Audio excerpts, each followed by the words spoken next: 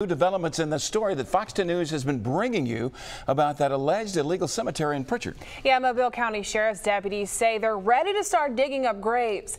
This comes after allegations of fa by families that caskets were dug up and reused and that bodies are not buried where they should be. Our Toy Thornton is live in the newsroom with more details. And Toy, deputies are getting close to the end of this.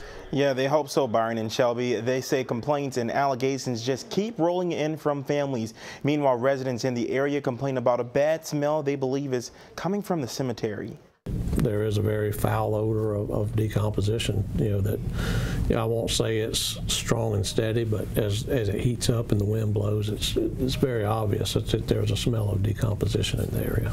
It's the latest of a series of allegations surrounding Heritage Memorial Garden Cemetery. Within that cemetery, there, there's a smell coming that's radiating through the air.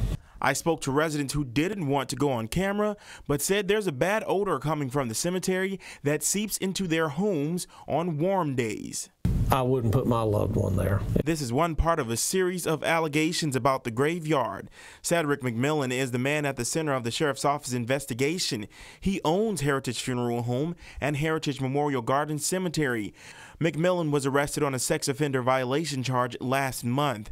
Captain Paul Burch with the Mobile County Sheriff's Office says people believe that caskets were dug up and reused and that bodies aren't buried where they should be. And now Burch believes there's enough evidence to start the exhumation process. You know, we're going to have to start you know, opening some of these grave sites and, and, to see what's in there and to either substantiate or disprove the allegations. Burch says this could start in the next few weeks and will happen on a case by case basis. Family members will have to approve and they'll need a court order.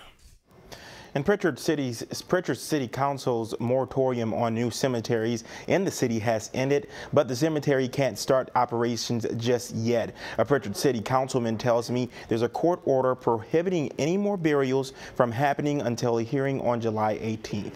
Live in the newsroom tonight, Toy Thornton, Fox 10 News.